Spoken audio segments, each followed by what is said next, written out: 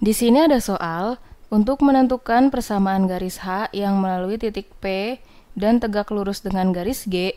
Terlebih dahulu carilah gradien garis G.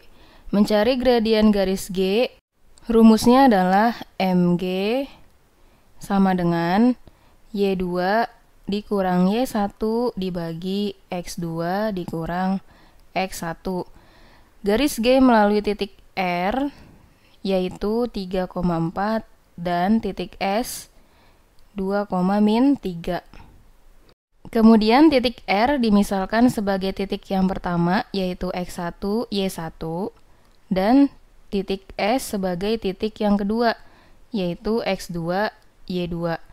Kita substitusikan menghasilkan min 3 dikurang 4 dibagi 2 dikurang 3.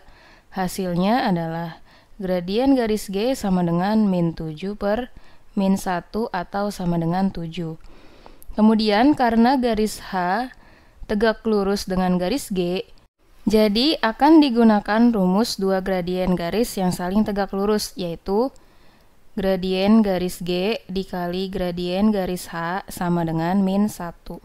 Di sini kita substitusikan gradien garis G yaitu 7 dikali gradien garis H sama dengan min 1. Yang akan kita cari adalah gradien garis H sama dengan min 1 per 7. Kemudian akan kita cari persamaan garis H yang melalui titik P yaitu min 5,6 dan memiliki gradien min 1 per 7.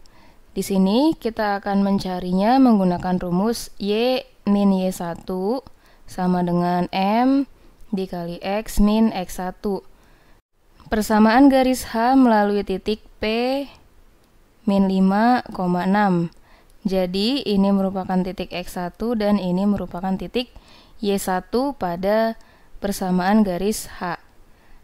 Akan disubstitusikan menghasilkan Y dikurang 6 sama dengan min 1 per 7 yang digunakan adalah gradien garis H karena di sini merupakan persamaan garis H dikali X dikurang min 5. Artinya min ketemu min jadi plus. Jadi plus 5. Kemudian ini kita jabarkan menghasilkan Y min 6 sama dengan min 1 per 7X min 5 per 7. Kemudian di sini kita pindahkan ruas menghasilkan Y plus 1 per 7X min 6 plus 5 per 7 sama dengan 0. Karena terdapat pecahan per 7, jadi untuk menghilangkannya akan kita kalikan dengan angka 7 di kedua ruas, menghasilkan 7Y ditambah X dikurang 42 ditambah 5 sama dengan 0.